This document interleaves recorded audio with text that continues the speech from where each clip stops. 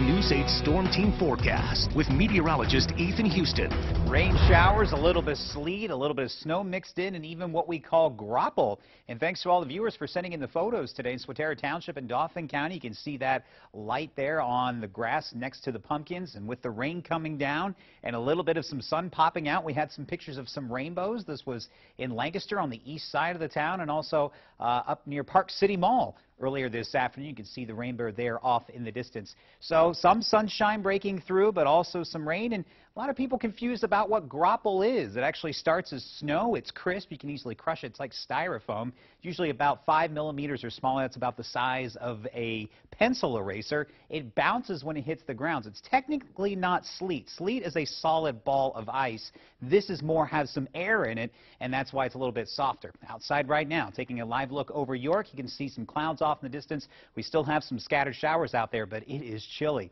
Right now, 46 degrees in the White Rose City with a stiff breeze out of the northwest at 9 miles per hour.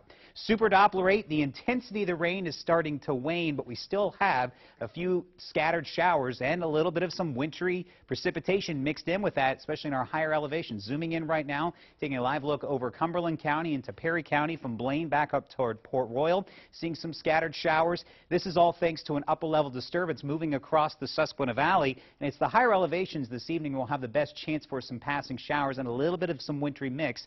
It's not until we head through the overnight when this finally starts to shut down, but the clouds will be sticking around for a few more hours after that. So for this evening, the scattered showers will taper. Yeah, we've got the chance for some of that slow, uh, snow, sleet, and some graupel mixing in. Another freeze warning is in effect for late overnight tonight, and I do think this is going to be the coldest night this week as temperatures drop to near 30. And then as we head through tomorrow, back up into the 50s, just a touch warmer than today, but I do expect mainly sunny skies throughout much of the day for tomorrow. Believe it or not, we made it to 51 in Harrisburg. That was right after lunchtime. Then the rain started to come down, and that helped bring the temperatures down.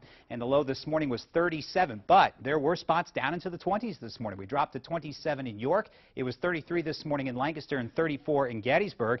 Here's some of the cooler spots. Look at Pequea in Lancaster County. Dropped all the way down to 31. And Fairfield dropped to 29 degrees. And Elizabethville in Dauphin County dropped all the way to 29 as well. Right now, we're at 43 in Harrisburg. It's 40 if you're watching us in Lebanon, currently 46 in Chambersburg. So there's the clouds, the scattered showers, and a little bit of some wintry mixing in with that. But look what's happening off to our west over the Ohio River Valley and for much of the Midwest. Little action. Large ridge of high pressure. On the eastern side of that high, and that big dip in the jet and an upper level disturbance is what's driving those passing showers. That's going to lift up towards New England. The high finally starts to win out. But because the core of the high pressure moves overhead, that's why temperatures are going to drop so low for tonight. Then watch what happens as we head through the morning. Any lingering clouds will start to erode. We'll see lots of sunshine. Highs will still be well below seasonal averages, back up only in the mid to upper 50s. Then as we head into Tuesday, the core of the high shifts into the open waters of the Atlantic. Winds start to turn back up out of the south by southwest, and our temperatures will start to rise. So tonight and tomorrow will be the coldest stretch. We'll only make it to 54, but then we're into the 60s on Tuesday. And like I said at the top of the show, there it is, 70 degrees. That's actually warm for this time of the year. And then comfortable weather will stay with us on into Thursday. Another cold front move on by could trigger a few isolated rain showers on Thursday evening. Cooler but near seasonal averages right now for the weekend. So the worst of the cold is tonight, early tomorrow morning.